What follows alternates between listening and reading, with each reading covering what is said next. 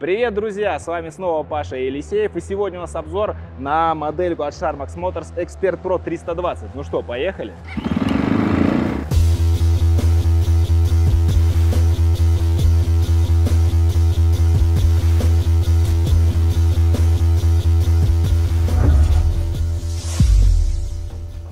Чего начать? Ну давайте с рамы. Рама классическая, К8, КТМ-образная, широкий профиль, хорошие швы, все как надо в топовой модельке. По двигателю, ну что сказать, мотор от Zhongsheng 182, шестиступенчатая коробка передач, 300 кубов. По комплектации мотика, ну здесь полный жир, руль, твинвал, не муля, аж труба в трубе, реально.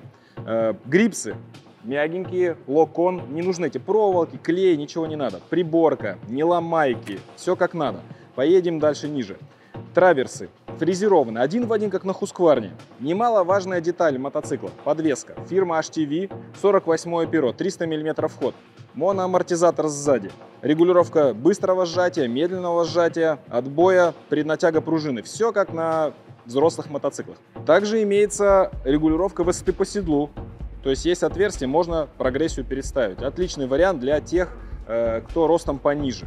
Сиденье с завода сразу подрезано, тоже удобно. Хорошая прочная графика, гибкий пластик, бак прозрачный, все по классике.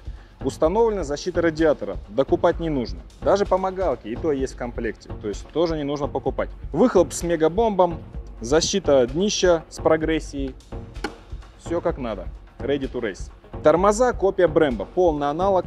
Можно ставить колодки от Brembo, можно китайские аналоги, как захотите. Главное, что они информативные и чувствительные. По резине, что хотел бы сказать.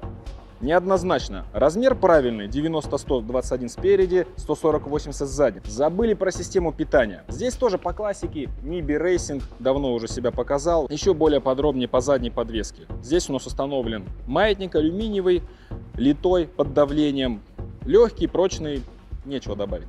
За привод на заднее колесо отвечает 520 усиленная цепь, сальниковая. Звезда у нас на 50 зубов, алюминиевая облегченная. Отлично.